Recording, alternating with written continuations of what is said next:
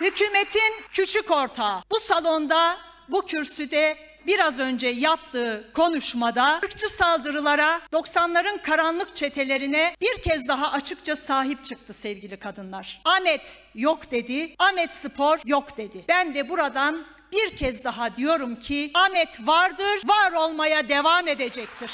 Ahmet Spor vardır, var olmaya devam edecektir.